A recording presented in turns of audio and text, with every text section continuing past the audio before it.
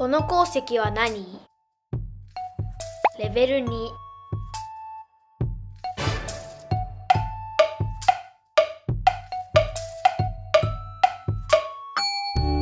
タイガーアイ。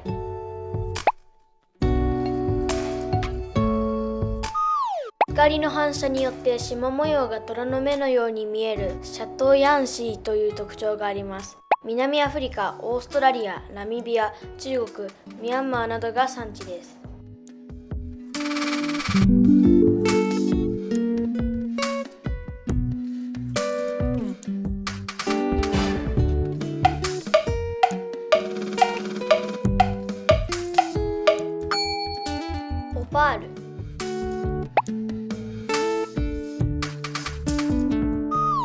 オーストラリアやメキシコが主な産地。日本でも産出するが宝石級のものはほとんどない。火星にオパールがあることが2012年の火星探査機キュリオシティが発見しています。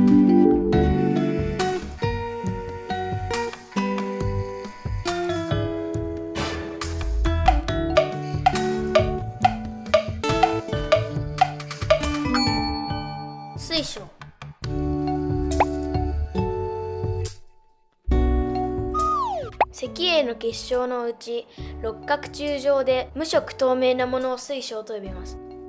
かつて日本では山梨などで採掘されていましたが今では採掘していません。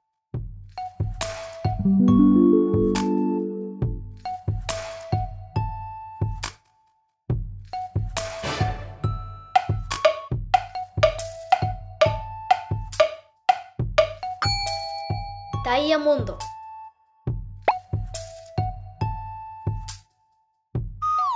炭素のみからなる鉱物でモースコードは10であり鉱物中で最大の数値です。地下の特定の深さの高温高圧の条件で形成されます。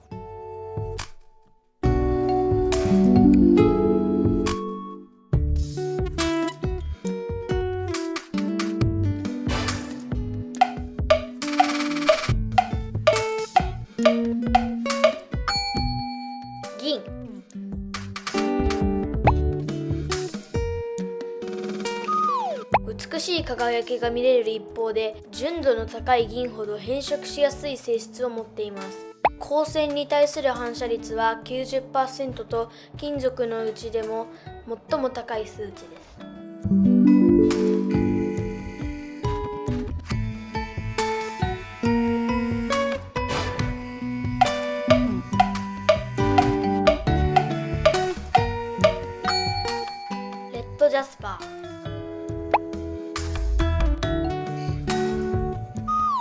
石英の結晶であるジャスパーの一種で鉱物の中に含まれるヘマタイトが赤色の秘密です。主な産地はインド、ベネズエラ、エジプトなど日本の佐渡島からも産出されております。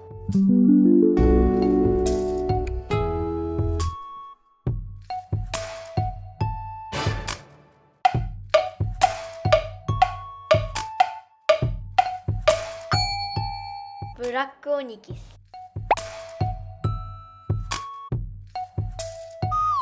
石灰岩の一種でオニキスの原石は世界各地で産出します。ブラックオニキスの黒色は古代より人工処理されておりほとんどが人工的に着色されているものです。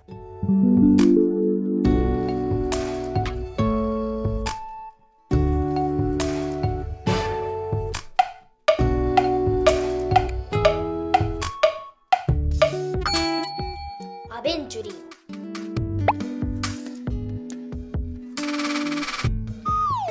日本では砂金石や砂金水晶と呼ばれています。産地がインドで翡翠に似ているためインド翡翠とも呼ばれています。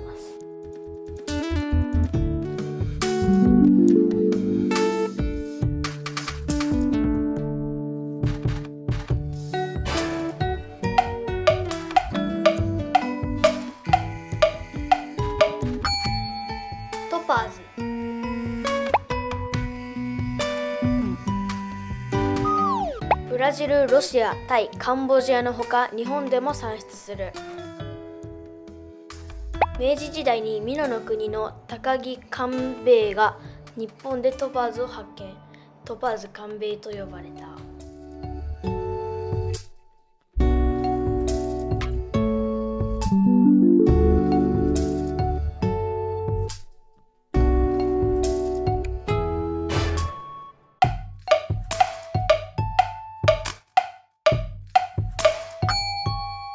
クアマリン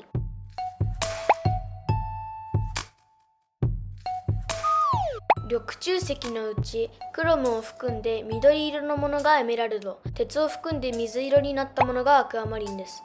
ブラジルのサンタマリア鉱山で採れる深いマリンブルーの石が最高資品質とされています。